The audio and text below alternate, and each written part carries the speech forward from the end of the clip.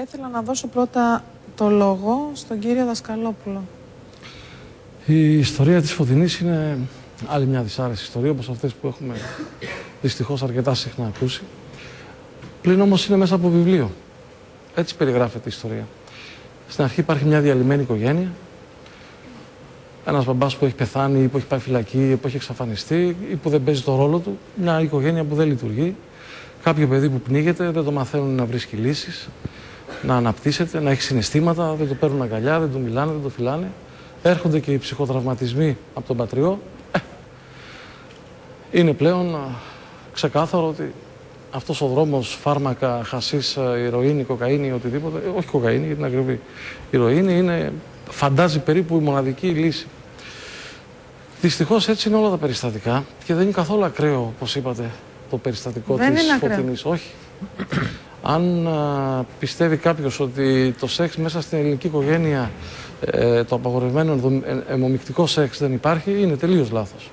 Καθημερινά καταγράφουμε, εβδομαδιαία καταγράφουμε περιστατικά αυτά που ακούμε. Στην αρχή είχαμε μία μητέρα που δεν ήθελε να αγκαλιάσει το παιδί της. Αλλά έκαναν και της το πήραν το παιδί γιατί δεν ήταν σε θέση να το Σε μεγαλώσει. εκείνη τη φάση, αλλά θα Ήτανε έπρεπε, αφού είναι χρήστης, καλά ήταν τώρα, άρρωστη. το ταχύτερο να Αλλά- αναπτύξει σχέσεις μαζί του. Αλλά ανέπτυξε σχέση Πολύ με το ωραία. παιδί της Δεν το και ήξερα, είναι- λυπάμαι είναι έτσι. κοντά. Είναι κοντά. Είναι κάτι που θα τη στηρίξει αυτό και θα mm δώσει ίσως και τη μοναδική ελπίδα να παραμείνει στεγνή και καθαρή και δυνατή στην κοινωνία. Φυσικά. Ε, Είναι, Είναι το ένα πιο κομμάτι- σταθερό σημάδι Τώρα αναφοράς πια να που είναι ένα έχει. κομμάτι σημαντικό. Ωραία, τότε χαίρομαι. Χαίρομαι λοιπόν που τα καταφέρατε. Ε, να Οι δώσω. ψυχολόγοι της λένε να απομακρυνθεί πλήρως από τη μητέρα. Να μην έχει καμία επαφή. Οι ψυχολόγοι το κάνουν αυτό, τη συμβουλεύουν. Εσείς τι θα τη συμβουλεύατε; Ακόμα πιο πέρα. Ακόμα πιο πέρα.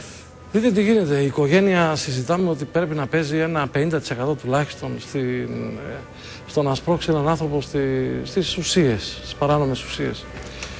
Τώρα, πολλές φορές έρχεται η ίδια η οικογένεια και σου φέρνει το παιδί τους και λέει κάνε κάτι, αλλά ταυτόχρονα σου σκάβει και το λάκκο. Και στο παιδί και στο γιατρό.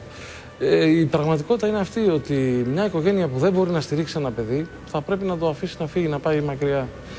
Δηλαδή αυτή η μητέρα τώρα σίγουρα από κάτι πάσχει, καταρχάς. Να μην το πάρουμε έτσι ότι θέλει πυροβόλημα. Ε, δεν πήγε ποτέ σε γιατρό, δεν υπήρχαν γιατροί τότε, δεν ξέρω την ιστορία της κυρίας.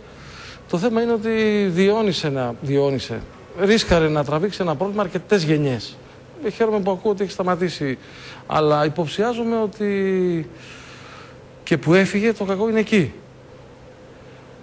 Κατά τη γνώμη μου θα έπρεπε να τη δει ένας γιατρός και στη συνέχεια να εξηγήσει και στην ε, Φωτεινή τι συνέβη, μήπως γεφυρωθεί το χάσμα.